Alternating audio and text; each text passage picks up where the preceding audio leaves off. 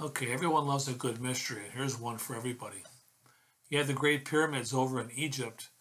and They go back at least 5,000 years. Some people think much, uh, much further.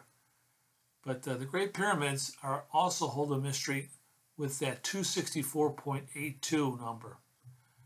Uh, if you take a straight line at 264.82 degrees, you're going to eventually run into the Nazca lines which uh, is always being mentioned in uh, the Ancient Aliens show.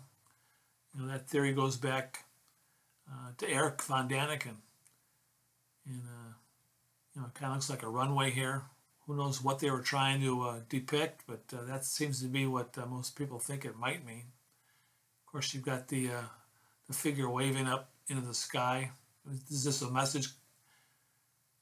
But, and then if we continue, at that 264.82 number, we're going to eventually come into Easter Island, which is also a big mysterious place on this planet.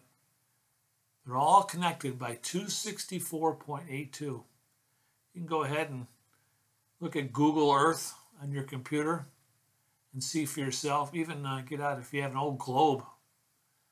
Run your finger across that line. You're going to see this is exactly what is happening you're like me, the stranger the better. And what is more stranger than that number? I mean, what are the odds that this could actually happen? And I'm talking precise. So go ahead, leave your comments. I'll leave some links below this video.